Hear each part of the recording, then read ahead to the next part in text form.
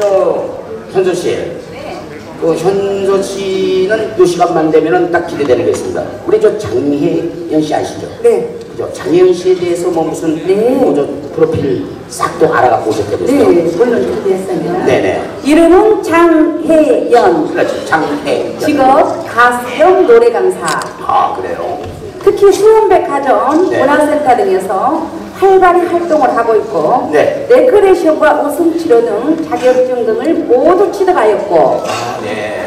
앨범 오늘날만 같아라 엉치바에 열심히 가수로 활동을 하고 있습니다. 그래요. 시청자 여러분 장희연 씨께 많은 관심과 사랑 격려 부탁드리겠습니다. 네, 그래요. 아, 예, 우리 가수 장혜연 씨에 대해서 뭐 확실하게, 아, 정말 발표를 해주셨어요. 장혜연 씨, 어, 나날이 발전돼가는 그런 가수가 되기를 비난받죠. 장혜연 씨 박수 한번 보내주시고요. 네.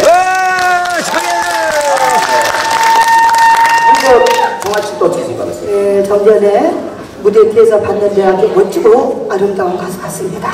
아, 그래요. 네. 하여튼 뭐, 어, 사람에게는 뭐 이렇게, 어, 이렇게 향기로운 냄새가 좀 납니다. 네, 그죠? 그렇죠. 저, 저 좋은 날만 있으시길 바라겠습니다. 자, 현서 씨. 또 네. 한 말씀 더 해주세요. 고맙습니다. 네. 항상 오늘날만 같아라 같이 칭찬을 받고 살았으면 참 좋겠습니다. 그래요. 자, 오늘날만 같아라. 장혜연 씨.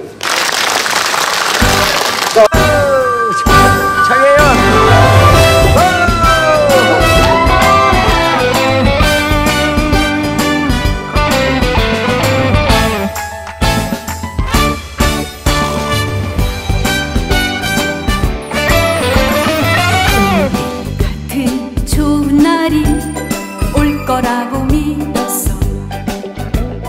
하는 일마다 될 듯하며 자꾸 맞고 있더니 이제서야 술술